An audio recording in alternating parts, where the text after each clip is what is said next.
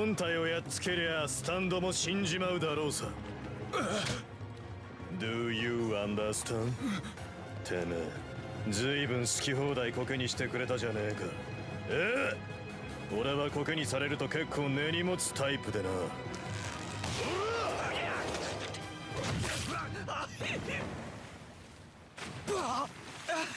はい。ややめちくれ。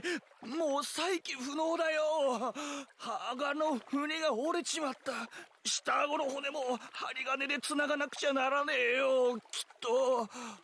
俺はディオには金で雇われたんだ。ブゲゲ。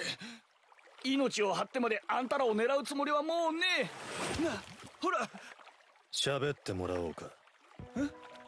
これから襲ってくるスタンド使いの情報だそそれだけは口が裂けても言えねえぜ。誇りがある。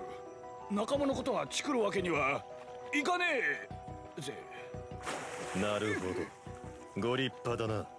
思い出した。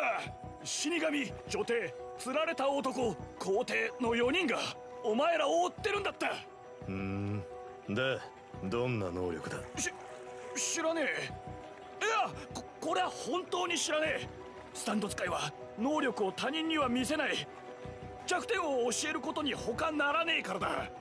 たただディオにスタンドを教えた魔女がいるがその息子が4人の中にいる。名前はジェイガイル。目印は両手とも右手の男。カードマンジは釣られた男。ポルナレフの妹の敵だろそいつの能力は少しだけ噂で聞いたぜ。鏡だ。鏡を使うらしい。実際見てねえがポルナレフは勝てねえだろう。死ぬぜ。今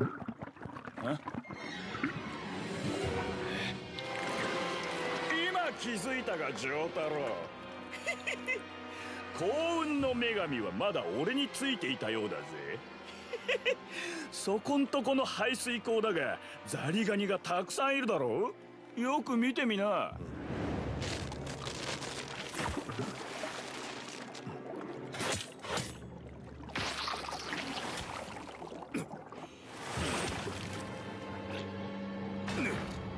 ンホール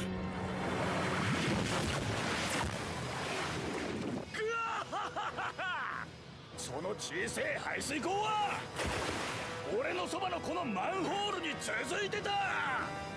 引っ張っててめえを固定する。これで俺を攻撃できまい。今俺が話した両手とも右手の男のことは無駄になってしまったな。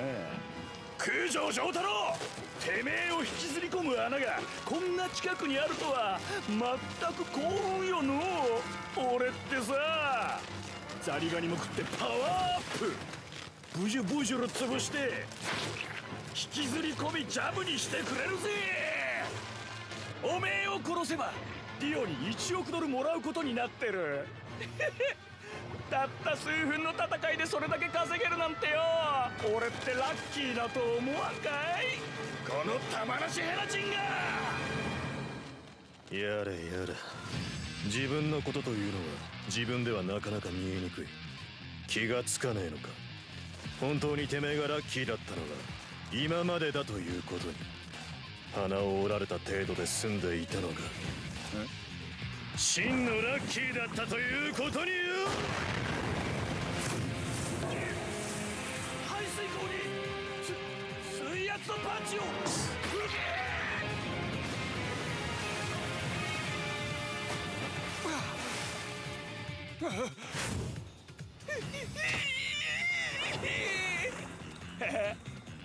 冗談だってばさ丈太郎さん。